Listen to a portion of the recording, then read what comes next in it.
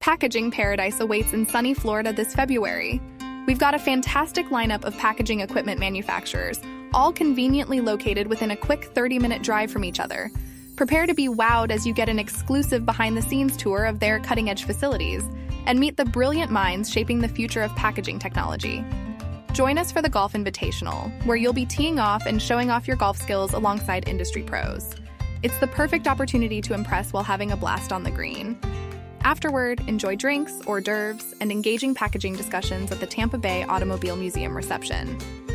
Head to tampabaypackaging.com to register.